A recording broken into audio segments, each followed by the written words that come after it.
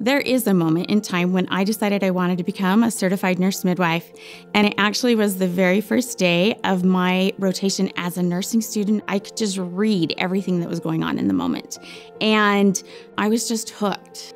I really get so much out of this. I'm trying to enable women to be able to have the birth experience that they want to.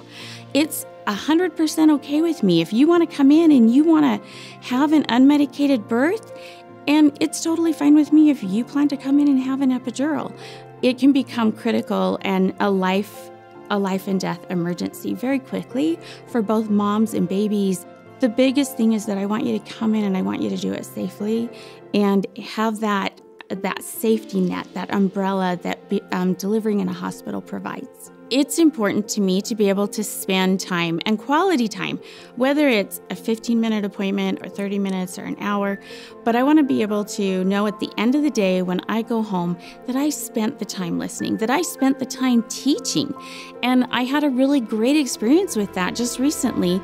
I had a mom come in with her 18 year old daughter for something that in their mind was completely unrelated to another um, symptom that she was having. And we worked through that, and so much came out of that. And I think that her life has the, the potential to be so much better because of that. I'm Jennifer Jensen, certified nurse midwife and women's health nurse practitioner at Intermountain Alta View Women's Specialists.